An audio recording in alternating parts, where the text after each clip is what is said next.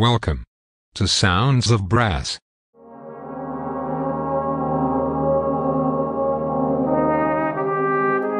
Sounds of Brass is proudly sponsored by Stratos Brass.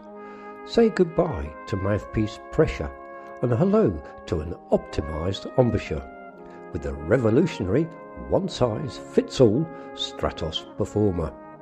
Compatible with all brass instruments, it's your key to clearer, stronger playing, giving you more stamina than you ever thought possible. Get yours now for just £79.99 at stratosbrass.com. Exceed your expectations every time with the Stratos Performer.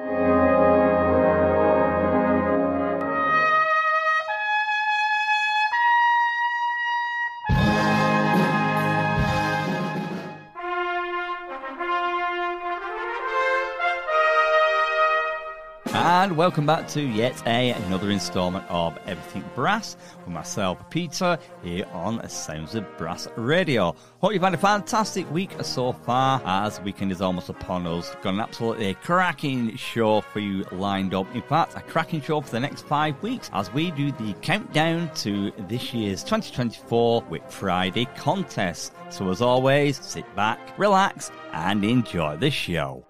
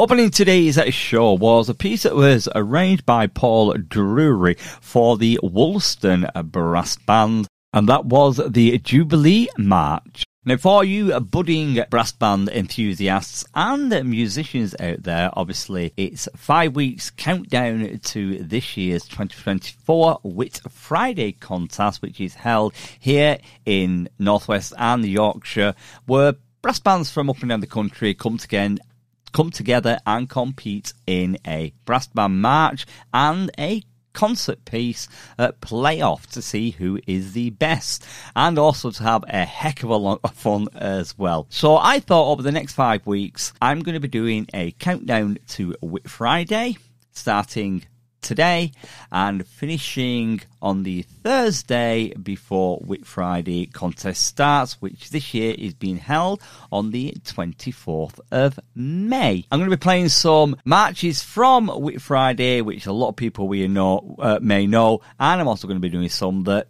have probably never been played at the Whit Friday, but they're still marches, and I tell you what, you can't beat a good march now and again. Now we open today with the Woolston Band, who gave us an absolutely fantastic march called the uh, Fanfare March. We're going to go to an absolutely fantastic march composer now, a little bit of William Rimmer. The piece is a Ravenswood being played by the Black Dyke Band under the direction of Nicholas Childs. So here is William Rimmer's Ravenswood.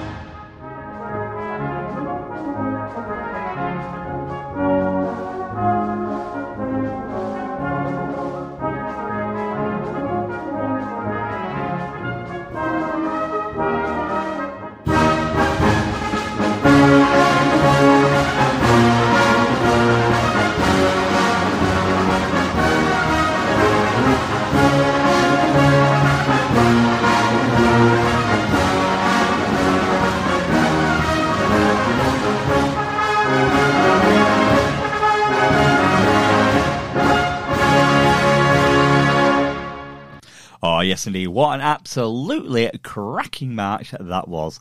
And if you enjoyed that, there's plenty more still to come within the show and over the next five weeks. Now, a little bit about William Rimmer, who uh, was from Lancashire, and he he was a composer and a conductor of a brass band music, who was particularly well known for his marches. Now, Rimmer was actually born in Southport in 1862 into a musical family.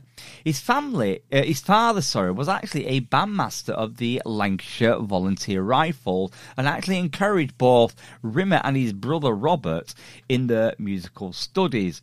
At the age of 15, Rimmer joined the Southport Rifle Band as a side drummer and then moved on to the cornet, eventually becoming the band's principal cornet soloist. We're going to take you to our next band now, uh, giving us an absolutely fantastic march that was originally written and composed by uh, George Allan. It's been played by the Kirk Moorside Band under the direction of John Woodward. Here is the March Belmont.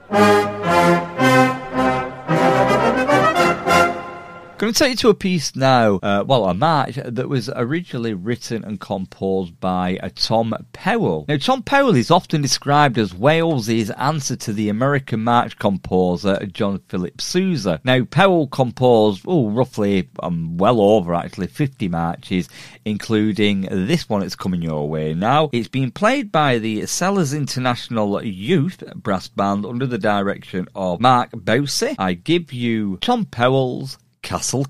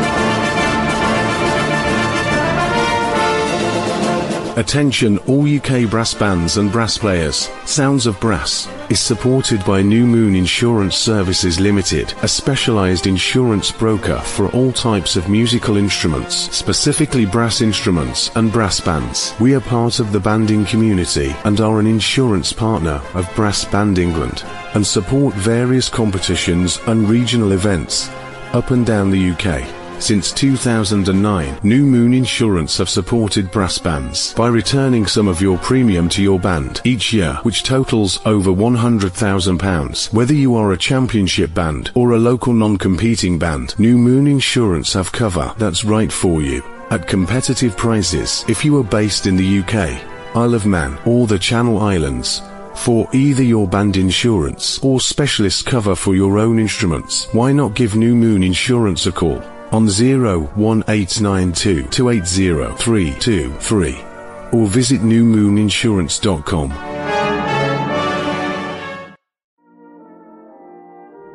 Hi, this is Annie Dehaney Stephen from Bethnal Green in London.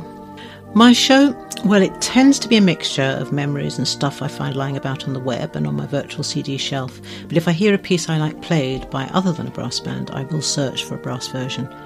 I play what I like, what interests me, and what I think might interest a listener like me, someone with broad musical tastes, including but not restricted to brass band music. I play in bands, but I sing jazz, and there are few genres of music that I don't enjoy. So I place brass band classics and test pieces next to cheesy pop, jazz, and funk, and I always include a couple of cool down numbers. I hope that listeners will find something they like in each show. My show airs on Fridays at 7:30 p.m. UK time with another chance to hear it on Tuesdays at 7:30. It would be lovely to have you there.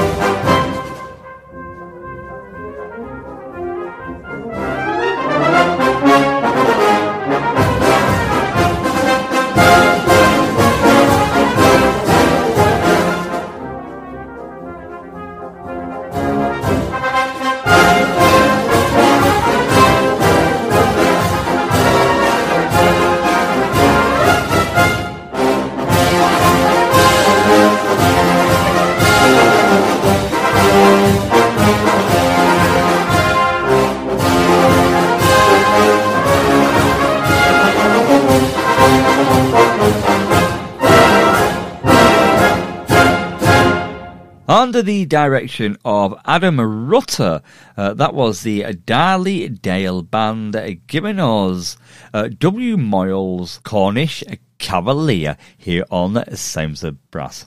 Remembering if you want to catch up with any shows that you may have missed, then you can always go over to YouTube and type in the search bar Sounds of Brass, where you can pick a show that's already been aired and you can listen them back as many times as you want free of charge and to your heart's content. So if you're one of these people that just can't get enough brass bands, then you can always nip over to YouTube. Got a brass band coming your way now that I must admit I've never heard of before, but they must exist. They are in my collection.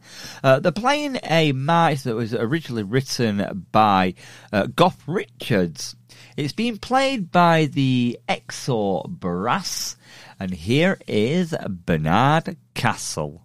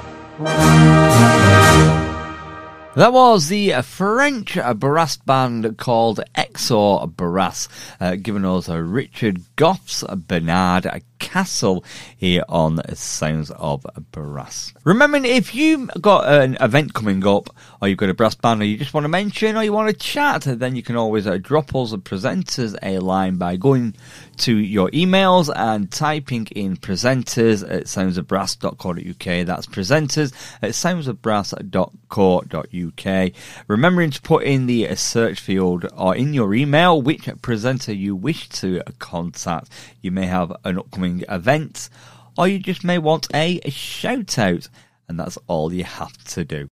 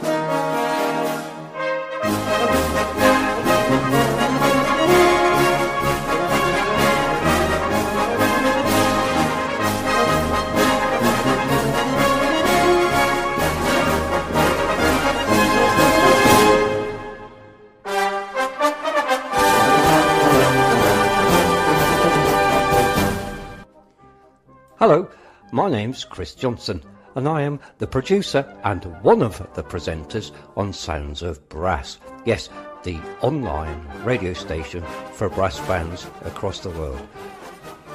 My show is on Saturdays at 7:30 p.m. I've been involved in brass bands for many, many years, and uh, I thought it was about time that brass bands had their own place in the world across the internet. So, Hope you're enjoying this station, and I hope you enjoy my shows.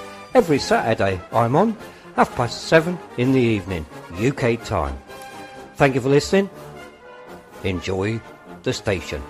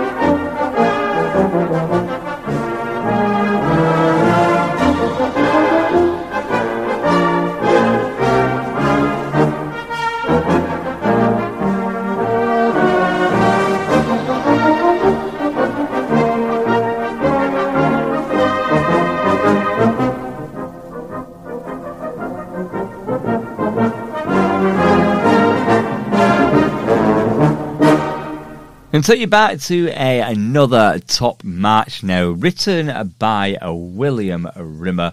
It's for the. It was written for the Slaidburn band, which this is another one of Rimmer's marches uh, that has been played by most bands and com- continues to be a number one seller uh, every year year in, year out, and it's definitely a one that's always played on the Whit Friday matches. So I give you a William Rimmer's Slaidburn.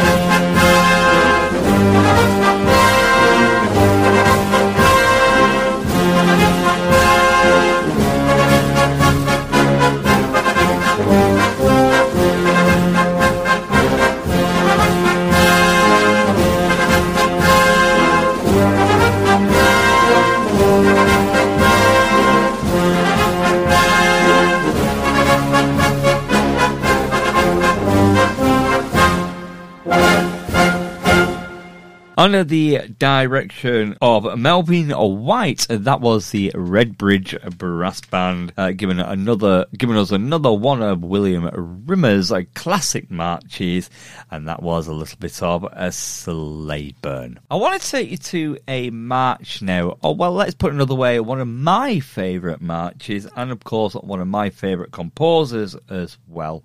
The march is being played by the Rolls Royce Coventry Brass Band. It's a march that was uh, written and composed by the famous Eric Ball. Here is the Rolls Royce Coventry Brass Band giving you my favourite march. And here is a little bit of Star Lake.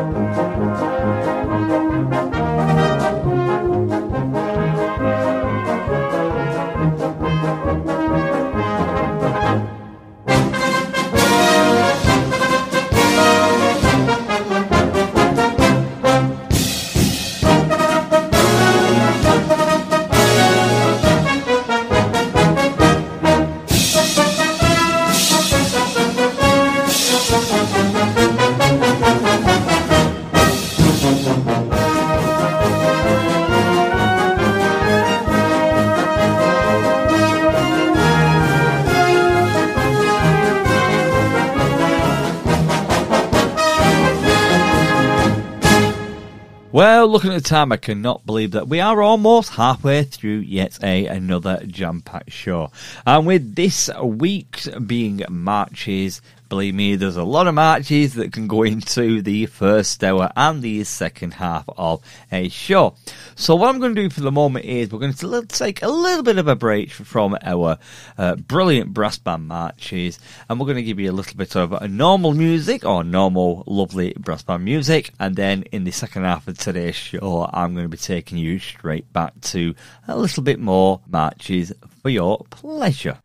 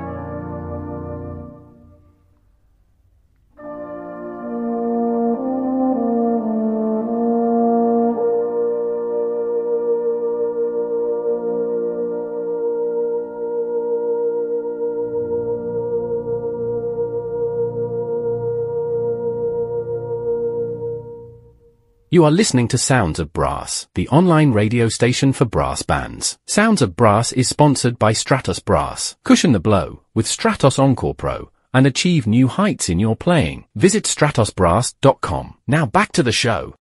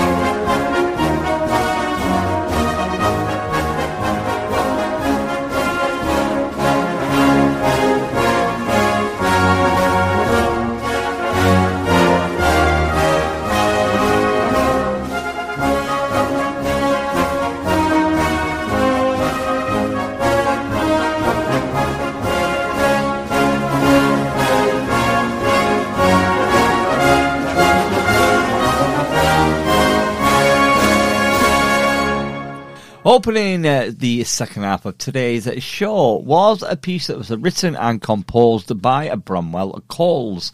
It was being played by the uh, Black Dyke Mills under the direction of Dr. Nicholas Childs, and that was the band march under two flags. And moving on to our next composer, who is actually American. John Philip Sousa was an American composer and conductor of the late Romantic era, known primarily uh, by for his American military marches, he is also known for uh, for the march King or the American March King to distinguish him from the British counterpart Kenneth J.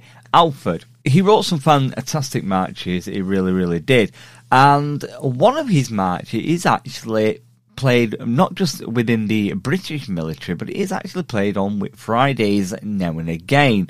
Not many bands play it, but I have heard a few play it. So I'm going to give you one now. Here is a little bit of John Phillips, The Liberty Bell. Or for those from my era, you may better remember this piece as being the theme tune to Monty Python and the Flying Circus.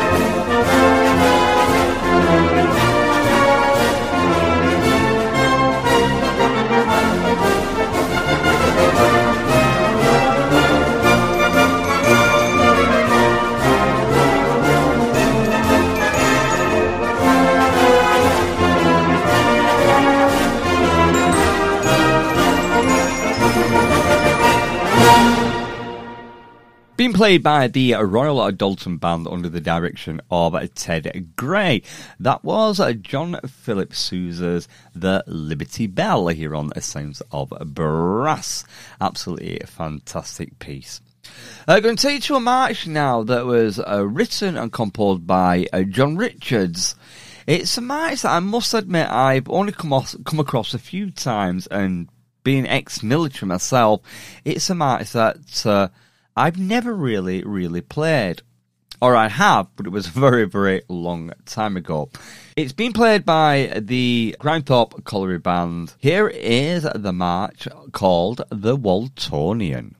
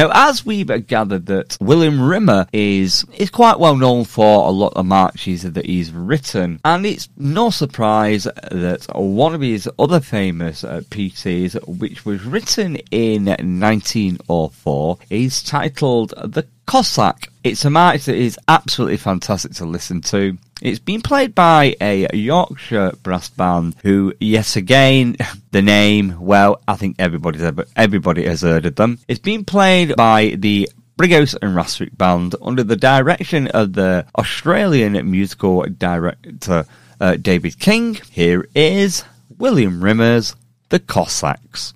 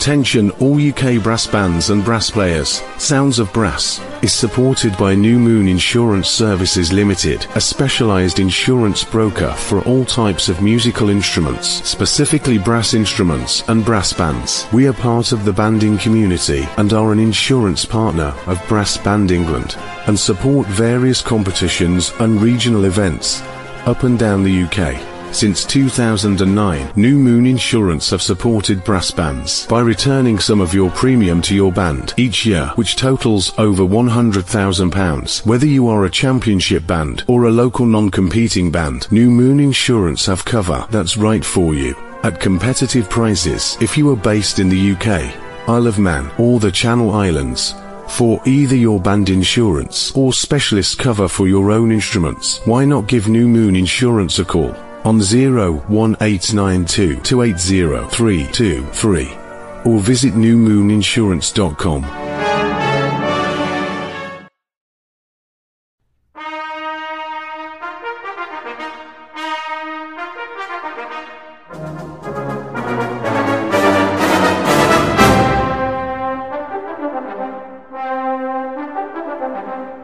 Hello there. I'm Jamie McVicker, coming to you from Norfolk, Virginia in the United States. I've been playing euphonium since I was 8 years old, and I'm a lifelong lover of brass music. I'm really excited to be part of the team here at Sounds of Brass. So why not tune in and join me on Mondays or Fridays at 5:30 p.m. UK time when I can share with you some of my favorite brass band music. Hope to see you there and have a great rest of your day.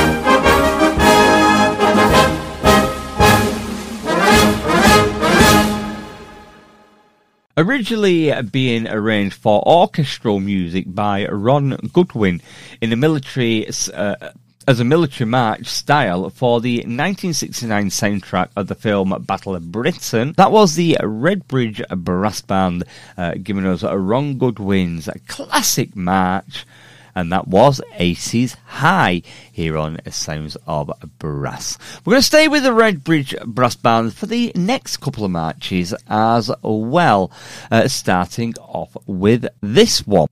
It's the fourth in Brooke Wright's series of classic marches transcribed for brass sextet and then brass band. Now, the march Death or Glory was originally composed uh, by the prolific 19th century composer of marches, uh, Robert Brownie Hall between 90, uh, between 1858, sorry, and 1907. As I said, we're going to stay with the Redbridge Band for this one as well. So here is Robert Browne Hall's Death or Glory.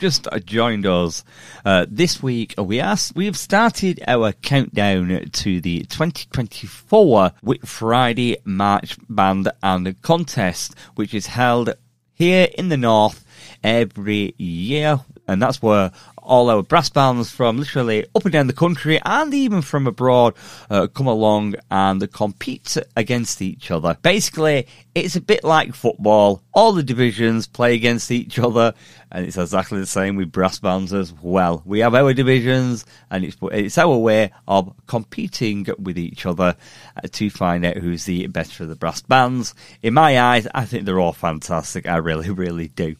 Now, for all our brass band listeners who have never heard of the Whit Friday uh, brass band contest here in the Northwest, the brass band contest has actually been held in Stalybridge on Whit Friday uh, since at least 1870.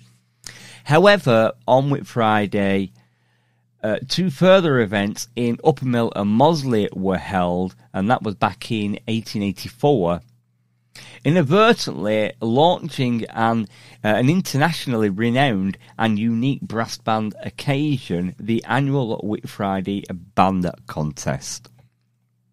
It's an absolutely great day out, especially if the weather's nice. But even when the weather's miserable, I tell you what, the weather can never put a dampener on listening to some of that fantastic music. So if you're up here in the northwest, then you've got to get over to Saddleworth to Delph uh, Uppermill, and wherever, and you can easily watch the brass bands play the concerts. It's an open event. It's absolutely free. And believe it or not, the bands don't start, don't usually finish playing until about 11 o'clock at night. And they start about 2 o'clock in the afternoon. It's an absolutely fantastic day out for the family and a day out for the adults in the evening as well thank you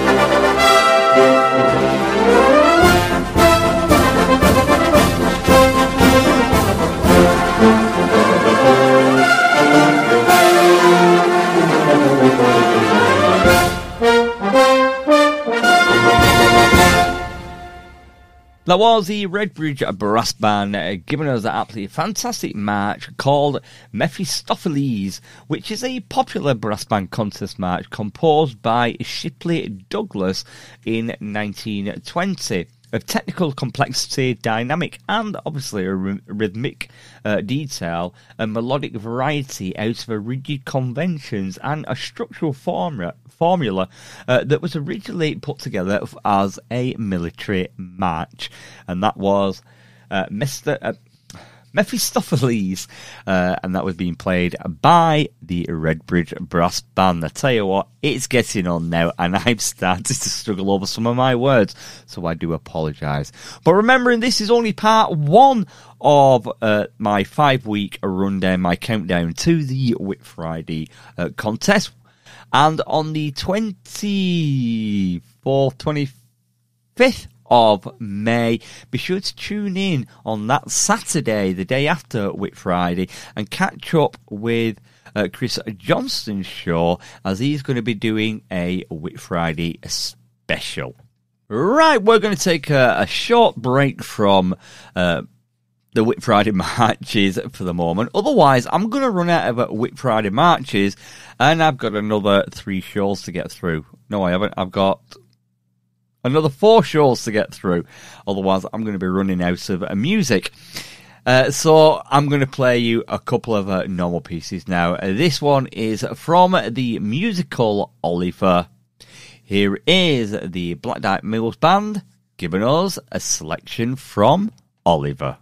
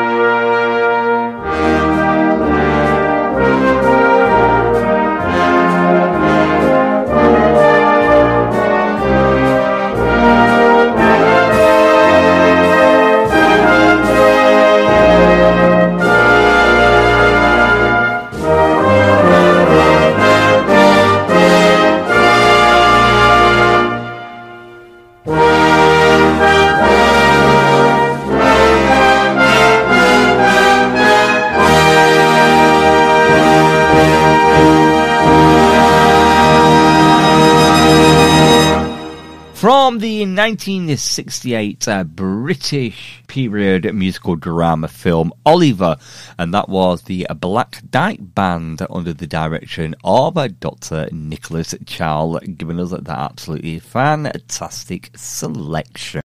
I'm going to take you to a piece of music now, which is from a 1990, uh, 1993 American epic historical drama film, which was directed and produced originally by Steven Spielberg, and the music was written by Steven Zaillian. It's a film that's based on the 1982 novel of the uh, same name by the Australian uh, novelist uh, Tom, Thomas Keneally. Here is the Fodens Richardson's band that giving us an absolutely beautiful film uh, and a beautiful piece, in fact. Here is the theme tune to Schindler's List.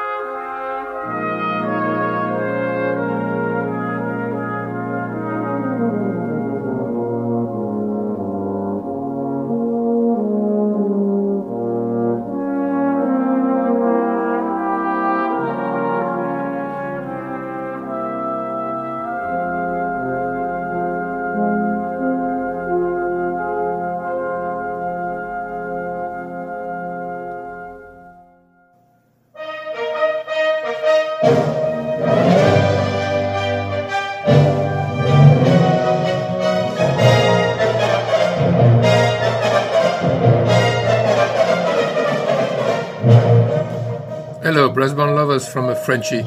My name is Eric Brice. I am French horn teacher and principal French horn player in the symphonic orchestra, but I also play tenor horn and I conduct a brass band in northern France in the lovely city of Amiens. I am really happy to be part of the Sounds of Brass presenters team. I want to interest and surprise you during my show and bring you the sounds brass ensembles, a bit of brass quintet, and above all, magnificent international music for brass band. You can listen to my show twice a month on Thursday 6 p.m. UK time. Thank you for listening and enjoy my show.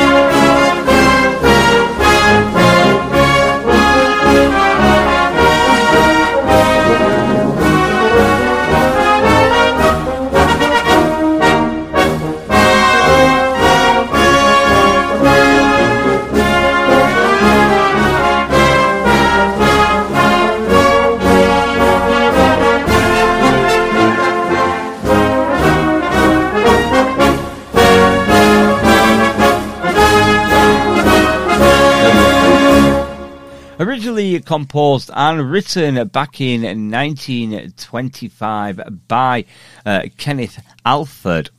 And that was the Cory Brass Band under the direction of Robert Childs, giving us The Thin Red Line. Well, looking at the time, I cannot believe we've got roughly about 10 minutes left before the end of part one of this week's show. And Remembering to tune in every Thursday from 4 till 6, repeated again on a Sunday from 4 till 6, where next week I'll go into part 2 on our countdown to Whit Friday. So be sure to tune in for that one, and hopefully next week I won't be struggling over my words as much. Well, unfortunately, we have almost come to the end of yet another jam packed show, and this being the first of five shows for the countdown to this year's 2024 Whit Friday matches. I'm going to play you this one. It's a piece that's been played back with the Redbridge Brass Band. It's a piece that's originally written and composed by Thomas James Powell. Here is an absolutely fantastic march. Here is The Contester.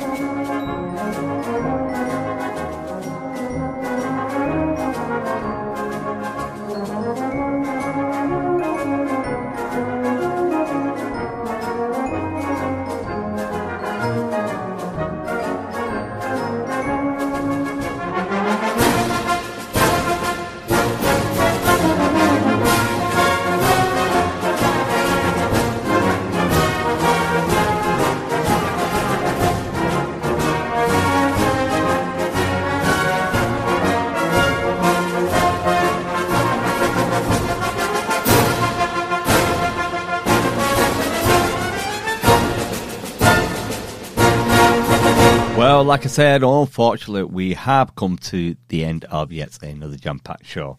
But be sure to uh, tune in next week for part two or the second instalment of our countdown to Whit Friday marches here on Sounds of Brass. So, for myself, Peter, and everyone here at Sounds of Brass, I hope you have a pleasant weekend when it gets here. Enjoy the rest of your day, and I shall see you very soon.